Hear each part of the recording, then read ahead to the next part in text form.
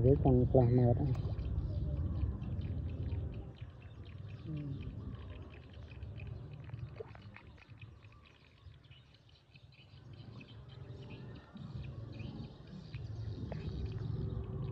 Hãy subscribe cho kênh Ghiền Mì Gõ Để không bỏ lỡ những video hấp dẫn